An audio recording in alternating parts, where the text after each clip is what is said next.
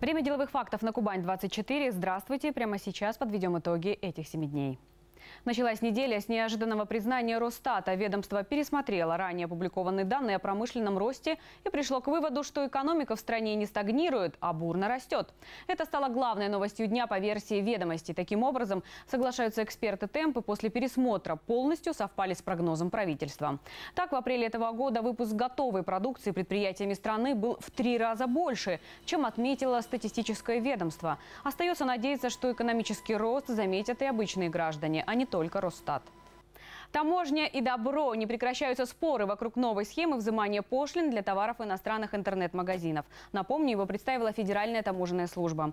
Документ предусматривает 2020 года взимание пошлины с любой интернет-покупки. Это вызвало волну негатива со стороны экспертов и рядовых покупателей. Поэтому в правительстве прошла разработка новой схемы. По ней снижение с 1 тысячи евро до 500 евро в месяц отложат до 1 января 2019 года. А уже с июля 2019 порог может составить составить 100 евро за посылку при отсутствии месячных ограничений. Несложно догадаться, что основными пострадавшими от таких изменений будут европейские и американские интернет-магазины и их покупатели. А вот с Китаем интернет-торговлю Россия намерена еще больше развивать. ВТБ и Alibaba Group ведут переговоры о создании совместного предприятия. Правда, получить подтверждение ни у одной из сторон коммерсанту не удалось. Благодаря партнерству с Алибаба ВТБ рассчитывает получить возможность предоставлять финансовые услуги продавцам, использующим азиатскую торговую площадку. Ну а китайская компания намерена заручиться страховкой от рисков при обнулении в России порога пошлиного ввоза зарубежных онлайн-покупок. Это не первая первая попытка империи Джека Ма найти партнеров в России. Ранее Alibaba Группа вела переговоры со Сбербанком. Но, как пишет Financial Times, компании не сумели согласовать принцип работы совместного предприятия. В итоге Герман Греф сделал выбор в пользу партнерства с Яндексом. Первая партия продуктов со знаком «Сделано на Кубани» отправилась с конвейера завода в Абинске. Местный творог, масло, молоко, кефир и сметана одними из первых в регионе будут красоваться на полках магазинов с ярким символом качества. Сельхозпредприятие района на неделе посетил глава региона Венимин Кондратьев, а после перспективы развития муниципалитета губернатор обсудил с местными жителями. Подробности в сюжете Марии Крошной. Каждый день в этих цехах готовы перерабатывать до 50 тысяч тонн молока. После масштабной реконструкции завод заработал на полную мощность.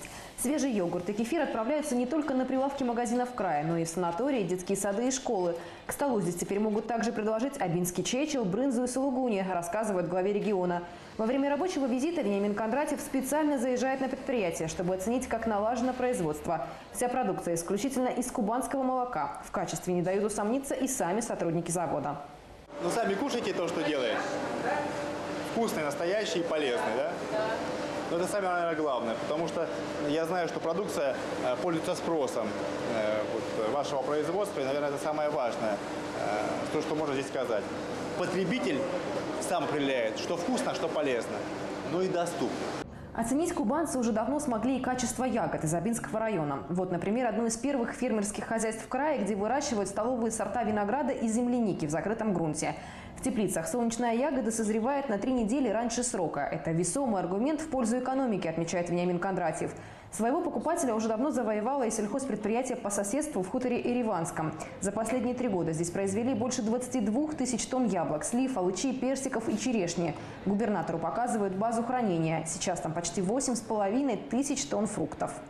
Сегодня импортозамещение, так называемое, санкции, они помогают нашему сельхозтоваропроизводителю выйти на рынок. Вот если откроются границы, вы способны будете конкурировать с аналогичными фруктами из-за рубежа? Способны, потому что мы уже новая тара, новая тара деревянная, была совсем другая, сейчас щипа. Ставим линии, поставил сортировочный, сейчас посмотрим. Станок, который картон требует от нас сети, только и Вот самое главное, чтобы сельхозпроизводители края были уверены в том, что когда завтра границы откроются, санкции снимутся, мы должны ни в коем случае с рынка не уйти, а своей продукцией сельскохозяйственной. Остаться и уже никого санкций на рынок и края, отчасти ну, нашей страны не пустить. Потому что наша продукция она будет конкретно способная, она будет высокого качества, она будет красиво упакована. И на самом деле э, потребитель, уже житель и края и страны, покупая, проголосует за счет увеличения площадей садов и повышения урожайности предприятие планирует выйти на производство фруктов до 30 тысяч тонн в год. Цифры вполне реальные, уверены аграрии. Несмотря на то, что Абинский район больше славится своими металлургическими достижениями, жителям удалось заложить фундамент конкурентоспособного сельскохозяйственного центра, а еще приятного места для отпуска. Во время рабочего объезда главе региона показывают новое место для привлечения туристов. Добраться туда можно на плоту через реку. Зона отдыха ничуть не уступает европейским курортам, поделился впечатлениями Вениамин Кондратьев. Надо иметь и талант, и настолько огромное желание для себя или для людей, как для себя, чтобы создать такие места, создавать такие места.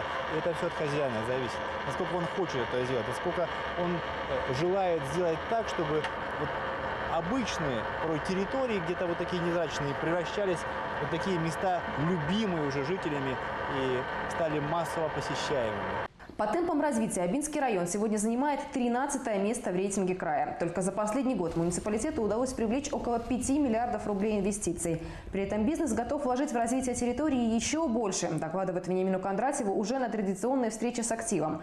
В Холмской даже есть целая площадка, где планируют возвести несколько промышленных предприятий. Но вот инвесторы пока туда идут неохотно. Проблема с энергетикой, затащить туда. А, приходят инвесторы, Говорят, все хорошо, логистика великолепная, потому что проходит трасса Краснодар-Новороссийск, рядом железная дорога, а рядом дорога на гидроузел, на Федоровку и другой выход, но нет энергетики. Это, в принципе, у них промзона. И на эту промзону готовы зайти те, кто потенциально создаст новые предприятия, значит, новые рабочие места и потенциально налоги, которые район получит. Но тогда понимается, и с точки зрения этой, это упущенная выгода, которая сейчас просто вот так вот уходит время безвозвратно, которое, которое мы уже не наверстаем, в виде в том числе и, и потенциальных налогов, которые могли получить. Я уже, я еще не подчеркиваю даже про рабочие места, зарплаты. Что касается инфраструктуры, то единственный возможный способ, как и сказал, это газогенерация. Но, в принципе, те мощности, которые сегодня им нужны, мы способны их э, найти на территории региона в рамках, опять же, собственной генерации. Что касается электричества, но его здесь нет. Мощностей не хватает, просто физически не хватает. На сегодняшний день резерв мощности составляет 13,6 мегаватта. То есть 13,6 мегаватта с учетом уже поданных заявок. Это резерв. Я еще раз подчеркиваю, газ там нужен, электричество нужно, э, инвестор там нужен в первую очередь. Инвестор придет тогда, когда площадка зафункционирует, и все, коллеги, весь вопрос снимается. Договорились? Тогда к Андрею Анатольевичу и четко с с главой района и понимание должно быть, что нужно, чтобы там появился и свет, и газ. Все, что необходимо, уже пришел инвестор. Решение проблемы дефицита энергетических мощностей даст новый толчок к развитию муниципалитета, уверен Вениамин Кондратьев. Ведь потенциал сегодня огромный. Промышленность, сельское хозяйство, туризм. Проекты успешно реализуются во всех этих отраслях. А значит, по темпам экономического развития у Абинского района есть все шансы стать лидером в крае. Почти во всех регионах страны упали цены на продукты питания. Об этом говорится в отчете Минэкономразвития. Как считают в Центробанке, инфляция удерживает умеренный спрос. Эксперты Росстата отмечают, что в целом за май в годовом выражении инфляция составила 2,4%. Больше всего подешевели огурцы, помидоры и бананы. Почти на 17%. А вот стоимость непродовольственных товаров, особенно топлива, весной увеличилась на 2 и 2,5%. В ближайшие месяцы цены продолжат подстраиваться под сформировавшуюся стоимость стоимость нефтепродуктов, отмечают аналитики. И еще от Росстата. Он опубликовал данные о доходах россиян. Судя по статистике, в мае они упали на 9%. В номинальном выражении доходы населения в прошлом месяце составили 30 тысяч 438 рублей. Это все же на 4% выше, чем годом ранее, однако меньше, чем в апреле. Таким образом, рост реальных доходов населения практически остановился и составил всего 0,3%. Минэкономразвития, в чем подчинении теперь находится Росстат, прогнозирует рост реальных доходов населения в 2018 году на уровне 4%. Повышение НДС разгонит инфляцию уже осенью, хотя поправки в налоговый кодекс вступят в силу только с января 2019 -го. Бизнес заранее сформирует подушку безопасности. В этом сходятся многие эксперты, в том числе и Владислав Варшавский, с которым мы обсудили эту тему на неделе. Владислав, здравствуйте. Спасибо, что смогли с нами пообщаться, потому Добрый что день. тема очень сложная, полемичная. Одни говорят, нужно повышать, другие говорят, нет, давайте подождем. Вообще, сколько можно ждать? И правда ли, что НДС повлияет на повышение и на рост цен? Ну, безусловно, поскольку НДС все-таки это косвенный налог, а косвенный налог, как известно, он э, находится в цене практически любого товара. А, понятно, что у нас есть различные формы и системы налогообложения, но тем не менее очень много предприятий, особенно предприятий крупного бизнеса, они все используют так называемую общую систему налогообложения, и в которой, собственно говоря, существует такой вид налога, как НДС. Налог на добавленную Услуги тоже стоимость. могут вырасти? А, Безусловно. То есть, если мы говорим о крупном бизнесе, то здесь э, практически 99% случаев э, речь идет об НДС, о наличии НДС. Понятно, что существуют определенные там механизмы возмещения, компенсация, но это для бизнеса больше, это не для а, простых граждан. То есть мы понимаем, что повышение а, ставки НДС а, автоматически повелича- увеличивает цену товара конечного. НДС – это налог, который остается в регионе, либо он уходит в центр? Нет, это федеральный налог. То есть, Безусловно, получается, на вот эти крупные инвестиционные проекты, ин- инновационные, которые вот правительство обещает за счет него развивать в том числе, да? Ну, в том числе и да, то есть НДС, как известно, один из ключевых налогов, который формирует в целом а, у нас а, бюджет, Бюджет. Российской Федерации, потому что это налог, который ну, практически в любой хозяйственной операции содержится, а, осуществляемой бизнесом. Э, в любом товаре находится НДС, то есть абсолютно везде, то есть не- неважно, да, даже вот ну, какую, какой, какой товар не возьми, какую услугу не возьми, везде этот НДС практически содержится в той или иной форме. Когда можно ждать вот первых таких попыток э, повышать цены? Потому что сейчас, в принципе, вот сегодня Центробанк обозначил позиции, мы, в принципе, не вышли за тот таргет, который он э, определил. То есть пока инфляция находится на том уровне, который Центробанк обозначил. Когда следует ждать повышения цен, на ваш взгляд? Ну, бизнес крупный готовится все-таки к таким а, моментам достаточно заранее, поэтому я думаю, что постепенно, вот в ближайшие полгода мы увидим а, небольшое повышение цен на основные товарные группы. Потому что действительно ну, бизнесу необходимо будет также совершать закупки, не испытывать дефицит оборотного капитала. А понимаете сами прекрасно, да, что там повышение ставки НДС на 2%, э, на 2 процентных пункта, это уже приведет э, к дефициту оборотного капитала. Потому что нужно будет закупаться, закупаться, опять же, да, по более высоким ставкам в новом году. Бизнес пойдет э, в сторону банков или просто будет э, сокращать производство, увеличивать цены? Какой будет, Я- скорее всего, я думаю, использован То, сценарий? скорее всего, ну, конечно, безусловно, там все зависит от отраслевой принадлежности и конкретной конъюнктуры рынка. Но в среднем по больнице, если можно так выразиться, все-таки будет решение в сторону увеличения цен небольшого, коррекции цен, безусловно. Это еще не все деловые факты. Далее расскажем о том, сколько будет стоить бензин в нашем регионе. Оставайтесь с нами, будет интересно.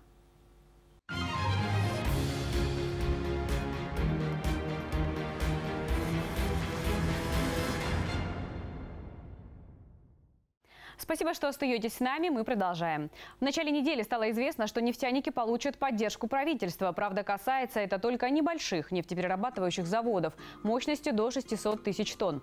В их число, кстати, входит и Афипский НПЗ.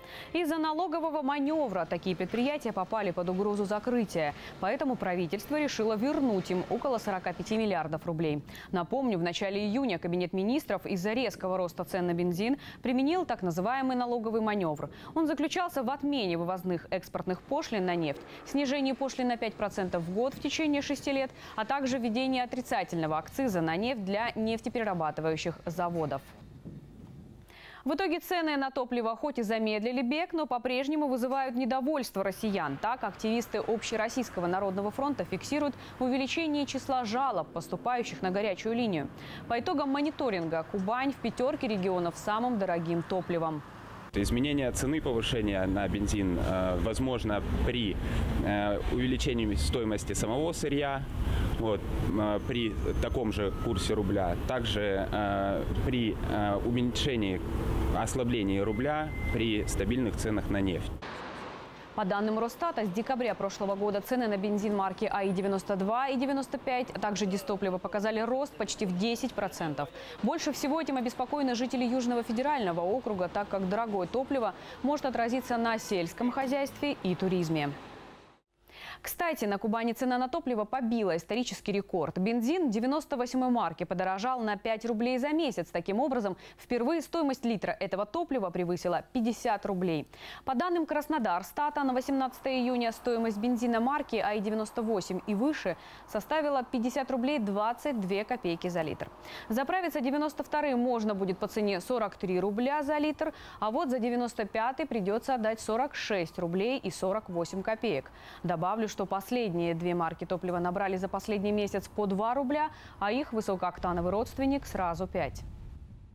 Ранее пессимистичные прогнозы спровоцировали рост цен на экспортный товар. Обнадежил аграриев ячмень. Уборка этой озимой культуры идет как раз сейчас полным ходом и показатели неплохие. А по этой культуре аграрии судят о хлебе. В этом году к уборке ячменя приступили на две недели раньше срока. Треть площадей в Краснодарском крае уже убрана, а средняя урожайность культуры составила 59 центнеров с гектара, сообщает Минсельхозрегиона.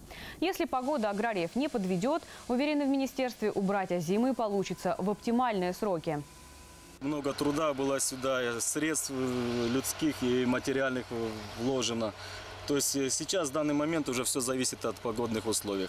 Пройдет нормально налив, то есть получим, я думаю, не меньше урожая, чем в прошлом году.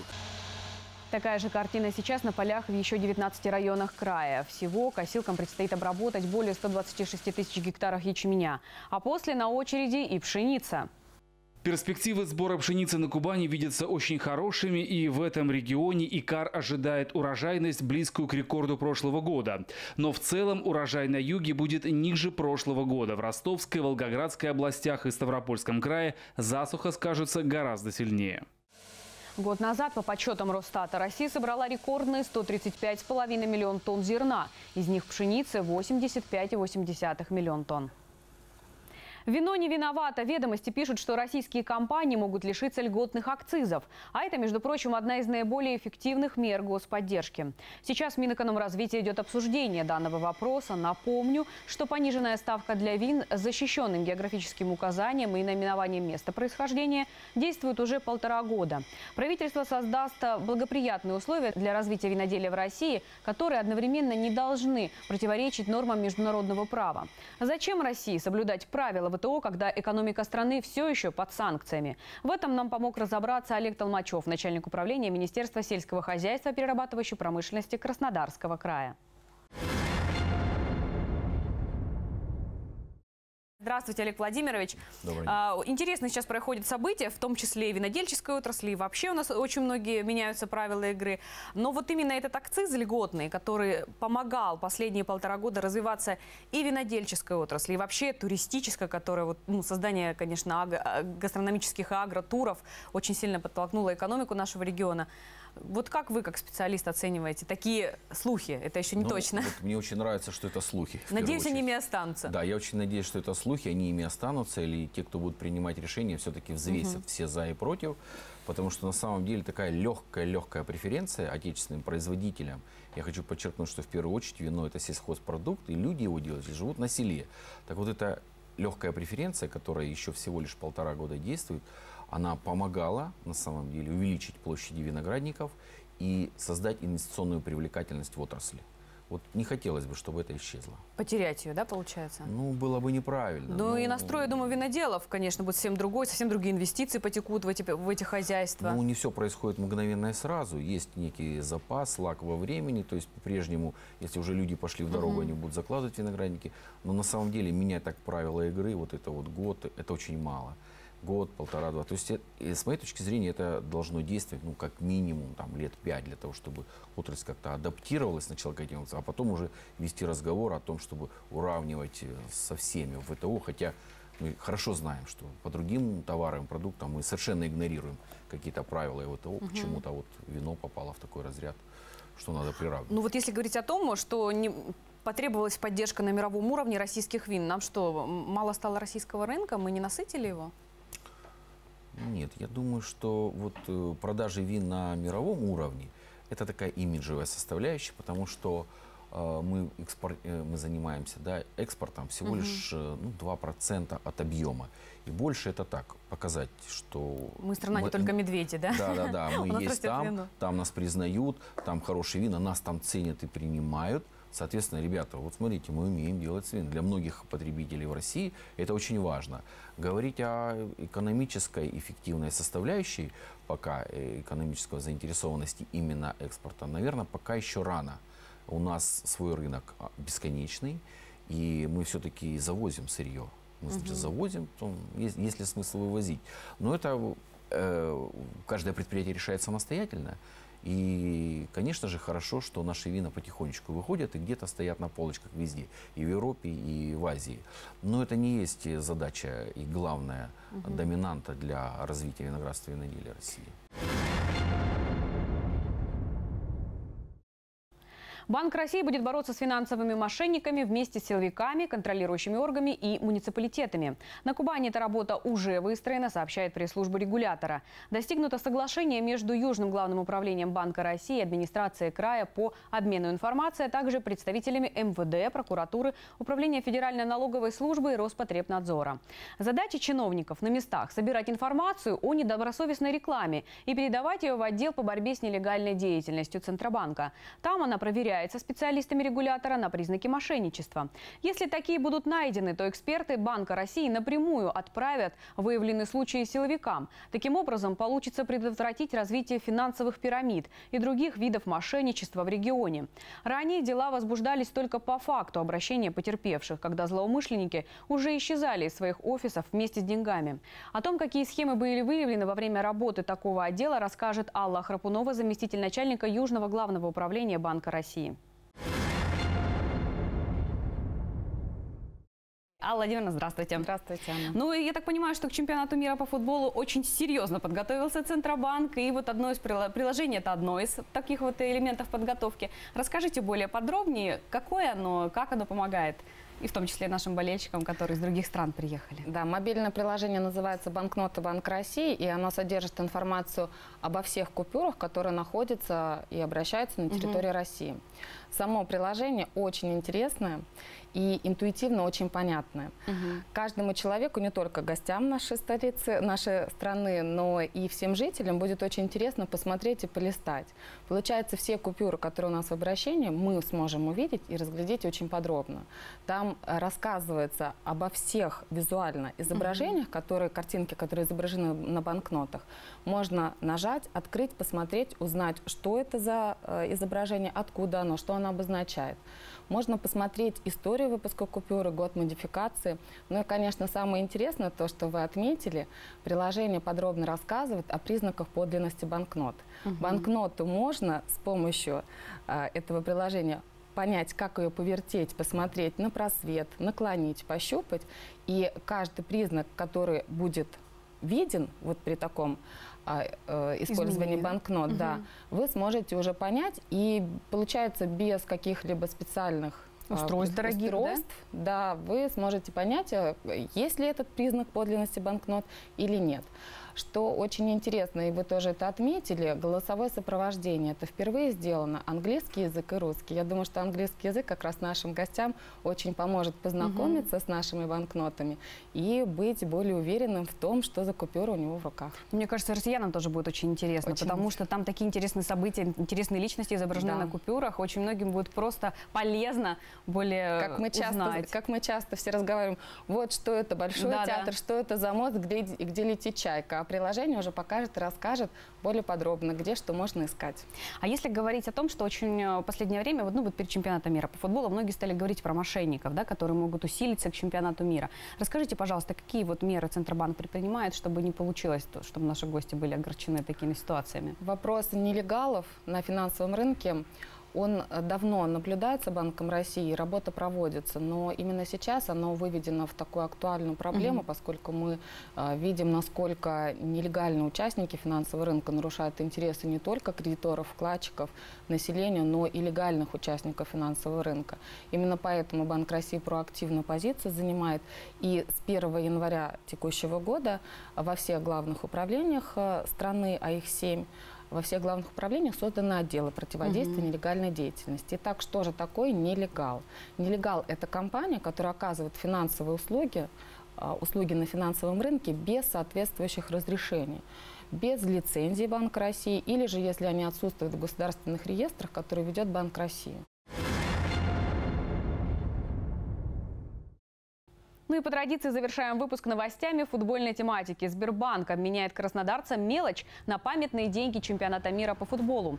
Сама акция по обмену памятных монет и купюр будет проходить 10 дней до 29 июня. Правда, участвуют в ней не все офисы. Эту информацию нужно будет уточнить дополнительно, сообщает пресс-служба банка. Монеты номиналом 1, 2, 5 и 10 рублей можно обменять на памятные в номиналом 25 рублей. И также памятные купюры номиналом 100 рублей. Сделать это можно будет без какой-либо комиссии, говорится в сообщении Сбербанка. Это были самые интересные деловые факты этой недели. Оставайтесь Кубань-24. Всего доброго. До свидания.